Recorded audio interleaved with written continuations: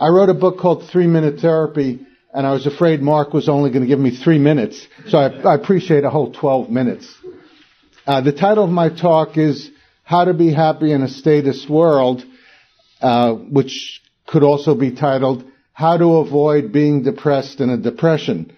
And eight months ago, it could have been called How to Avoid Being Recessed in a Recession.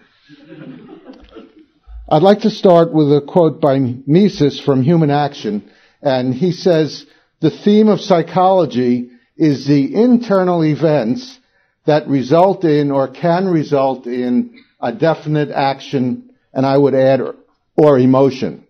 In other words, when we have, when we act, when we have emotions, it doesn't come from a particular situation. If I win the lottery and I feel good, it's not winning the lottery that makes me feel good, but it, rather it's my cognition, the ideas in my head, my thoughts, values, attitudes, notions, what I tell myself about the situation, not the situation itself that causes my good feeling about it. Now that's a very powerful notion because if it's your thinking that causes your depression or anger, anxiety about what's going on in the world, then you have a lot of power. You can change your thinking even though you may not be able to change what's going on in the world. So that leads to the question, what thinking, what is the nature of thought that leads to misery, that leads to depression, anxiety, anger, those kinds of feelings, uh, and what could we do about it?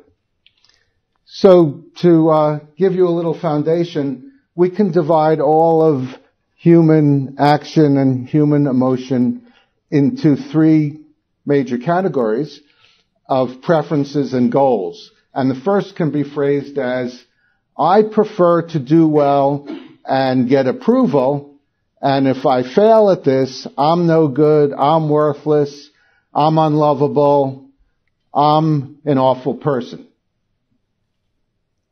Um, or rather, rather than those global evaluations, which will come in a minute, it's, it's too bad, it's unfortunate, and it's disappointing, and it's frustrating.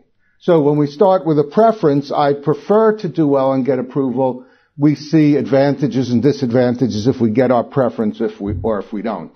The second area is not in terms of oneself, but in terms of how others treat me and that can be phrased as, I prefer others treat me well, fairly, reasonably, kindly, equitably, justly, and if they don't, that's too bad, that's unfortunate, that's frustrating.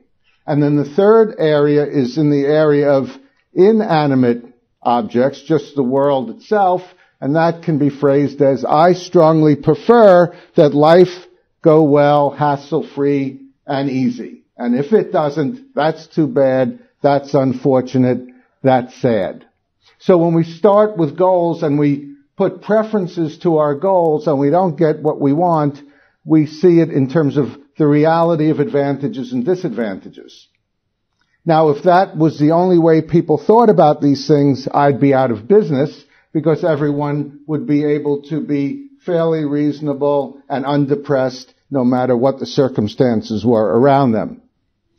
Fortunately or unfortunately, as imperfect humans with imperfect brains, we often take our preferences, our wishes, our desires, and escalate them into demands. Must, should, supposed tos, have tos, demands that we put on ourselves, others, or situations.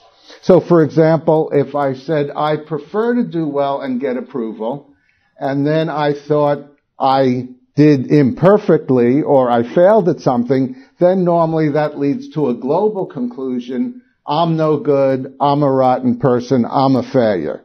Or I prefer you treat me well.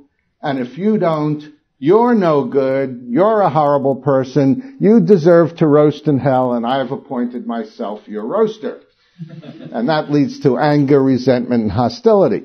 And then finally, I prefer life to be fair, easy, and hassle free. And if it's not, That's horrible. I have to be miserable forever. I can't stand it. And that leads to addictions, procrastination, and depression about external situations. So if that's the case, if we are thinking in terms of demands, musts and shoulds when we get depressed or anxious about the world situation and about the meltdown, what can we do about it? And the answer is we can apply the scientific method of setting up hypotheses and looking for evidence. So for example, if I'm feeling angry or depressed about Obama and the administration and Bush uh, taxing us and then bailing out incompetent businesses, I can I can ask myself first, what am I telling myself? It's not this execrable situation that's making me depressed, but it's what I'm thinking, and now we know it's some demand, some must or should, and it could be something like it Obama must not do this. Life must not be so unfair. Move over a little bit and stay still. Okay, thank you. Uh, and I can't stand it. It's awful. It's horrible. So then we can ask ourselves, what's the evidence this is the case? Who says things absolutely have to be the way I want them to be? Where is it written that politicians should act reasonably and justly?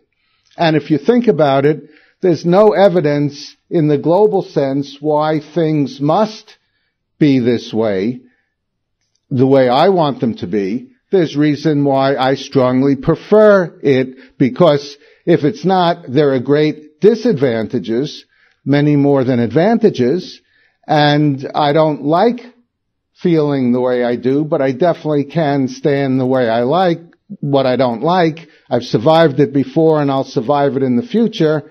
And I can still have a happy life even though things are not going the way I would like, although I'd be happier if we had a libertarian world. Now, I'd like to, I, when I give this talk, I often get questions from libertarians in particular about the idea of the must. And, and the question is along the lines of, well, you're saying musts are wrong, musts are irrational, but there are some musts that make sense. In order to live, I must eat, or one plus one must equal two. And just as in different fields, the same words may be defined differently, it's the same with this. For example, uh, psychic depression is different from business cycle depression. It's two different realms of discourse. And the same with pathological or psychological musts or absolutes versus logical ones. So it's logical to say, in order to survive, I must eat. But if you're not angry, depressed, or anxious when you think that, then it's more of a preferential, a logical must but I'm talking about absolutistic musts, musts that lead to global evaluations such as I'm no good, you're no good, or life is horrible, and causes emotional disturbance. I would uh, like to close with another quote from Mises. This is from his notes and recollections, and he says, Whosoever foresees so clearly the disaster and the destruction of everything he deems of value cannot escape pessimism and psychic depression. Well, now you know otherwise. Thank you.